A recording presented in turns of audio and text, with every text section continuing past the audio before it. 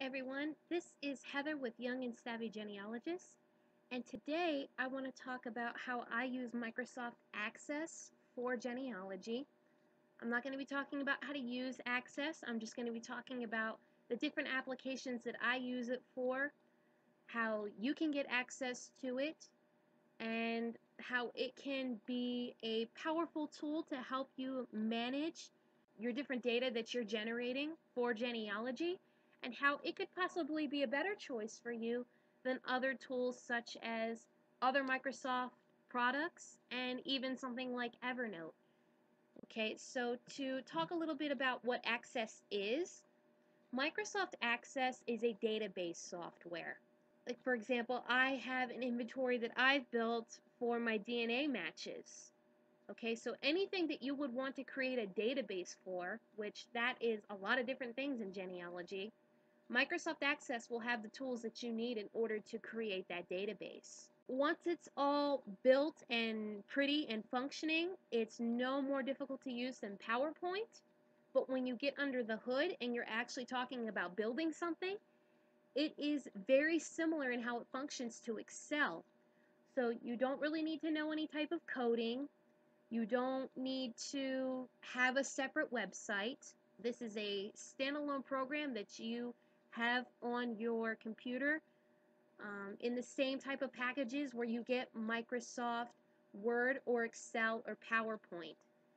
So a lot of the functionality is going to be the same to those programs and it cooperates seamlessly with all of those programs. So the packages that you need to have in order to get access to Microsoft Access, it's the professional package or above. So if you have access to Microsoft Office Professional, you already have access to Microsoft Access. That package retails for $399 here in the US. You can also get access as a standalone software for $109.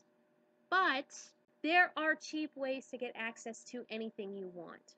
And Microsoft Access and Microsoft Office, for that matter, are no different.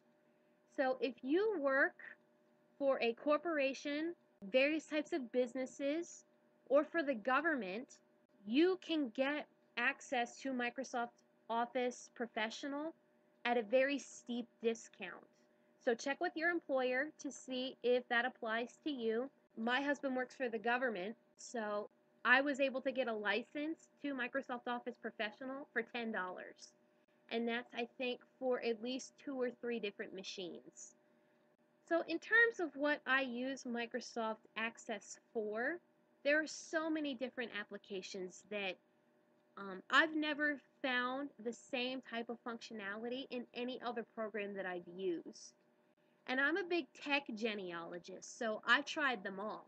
I've tried Office, I've tried Excel, I've tried Evernote, I've tried OneNote, I've tried all of these different tools, and I didn't like any of them because I found that no matter what tool I was using, I was spending more time duplicating my efforts and typing things than I wasn't actually getting my work done.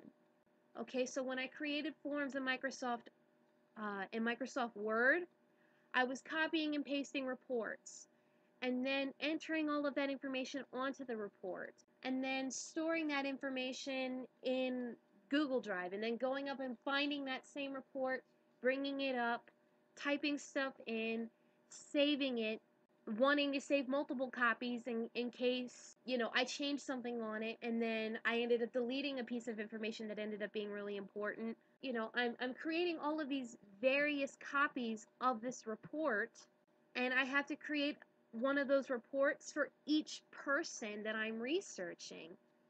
And so keeping track of all of those reports was getting really, really cumbersome and I didn't like it. And I was running into that same problem with OneNote and Evernote. I was spending more time duplicating work than I was getting work done. So the applications that you can use to um, eliminate this work, you can do that for research logs. You can do that for uh, tracking all of the different documentation that you find. I use it as a research trip planner. So you can see here that I have it built specifically as a planner for the Family History Library in Salt Lake City, but you can use it for any other type of repository. Any place that you plan on making a research trip to, and you want to keep track of the different sources and the families that they apply to, you can do that from Microsoft Access by creating a database. I also use Microsoft Access to create source citations. So instead of going in and digging out the copies that I made from Evidence Explained by Elizabeth Shown Mills, I have forms that I've created for all of the different types of source citations. So I can click on that button, it'll bring up a menu, and on that menu are all the different types of source citations that I have wanted to create.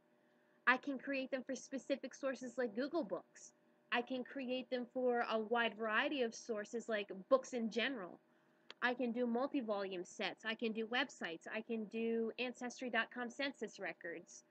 Um, any type of source citation that I need to create, I can use Access to take the work out of that for me. Um, for those of you who are keeping track of LDS Temple ordinances, that is one of the easiest things that you can possibly build in here um, because it's just a series of check boxes. The first and last name of the person, I type those in, and then I click the check boxes for, for all of the ordinances for that person, and once I've done that, it's done. And of course, I've talked a little bit about my DNA matching inventory. So for all of the different websites that I use, making DNA matches, so GEDmatch, Family Tree DNA, and Ancestry DNA, I have a database running together of all of the different matches that I've made on those websites.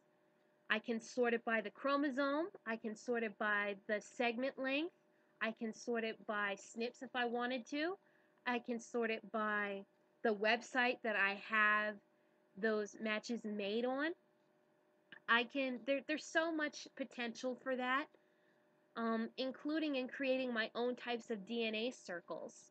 And so that would have to be a completely separate presentation on how I use that for DNA matching, but it is seriously one of the best tools that I have ever come up with and how to create better DNA matches. So today I wanted to talk specifically about how I use Microsoft Access for my research logs. So here's an example of a research log that I have created.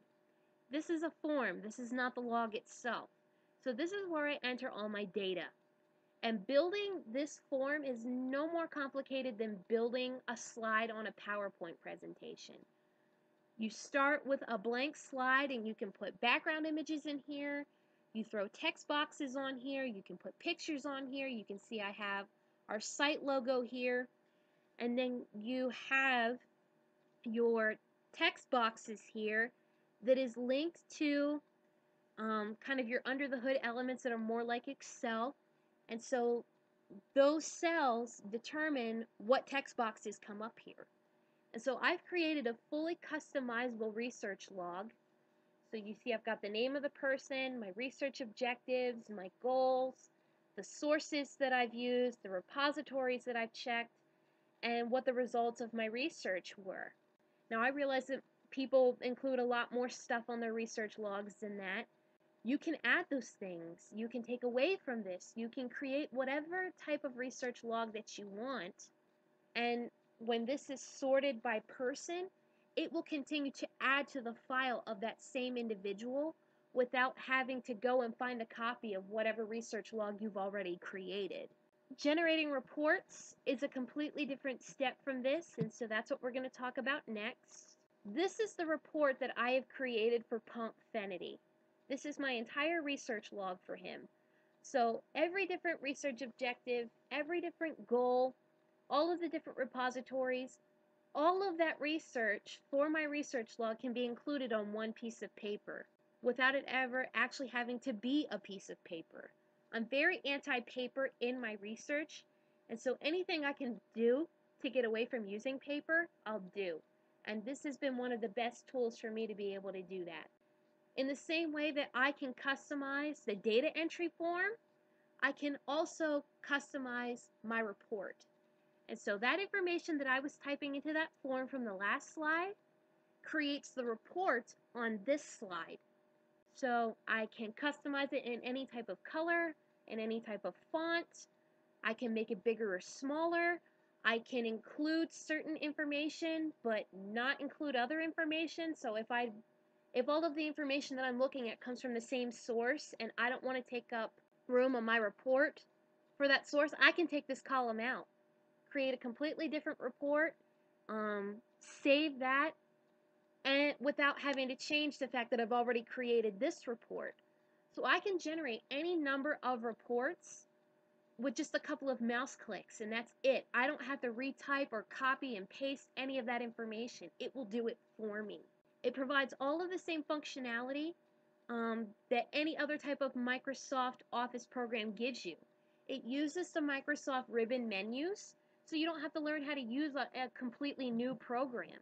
If you know how to use Microsoft Word or Excel or PowerPoint, you already know how to use Access. And that was something that I did not find to be true using Evernote. You're able to create any combination of reports for any number of people or families without having to create a whole new set of reports and retyping all of that information. Other applications that you can use this for, paid genealogists especially, there's a lot more potential here than what I've shown you in terms of client tracking. So you can create a database of your clients that you've had in the past, what research you did for them, how much you charged them. Any of that information you need to keep track of your clients, you can build that as a separate function of your database. You can also do inventory tracking. So if you're selling actual genealogy products, you can keep track of an inventory. How much of something do you have left before you have to reorder? Anything like that. You can keep track of all of those office type of expenses without having to use a separate program like Excel. You can have all of that under the hood in the same program. The one drawback to using Access is that it is not very portable. Your Access database can only be used on a computer that has access. So if you're going to a library and you want to add some information or something that you just found and you want to add it to your Access database, you may have to wait until you get home because not every computer in a repository is going to have Microsoft Office Professional. There is the capability for access to be portable, but it's through Microsoft SharePoint or other types of services like that. And those licenses cost several hundred dollars because they're mainly marketed towards businesses that are looking to cover multiple machines for a medium to large size company. So that accessibility is there, but you have to use SharePoint and create a web app buying that license just for you to be able to use it really isn't something that's cost effective. And if you're able to build a web app like that, you're talking being able to build mobile applications for a smartphone. You're able to build mobile mobile websites that you're able to access with any internet connection from any device. And so that potential is there. So that's how I use Microsoft Access for research reports and a couple of other things check back soon because I may create more kind of how-to guides and how I use Access for these other different tools. I haven't shown you everything I use it for, but you'll see that I'm discovering new ways to use it all the time. And so there is always going to be more to see. So check us out on our blog on youngandsavvygenealogists.blogspot.com. You can also check us out on Twitter at ysgenealogists. And be sure to click through to YouTube and comment and subscribe and like. And thank you so much for stopping by, and we hope to see you again.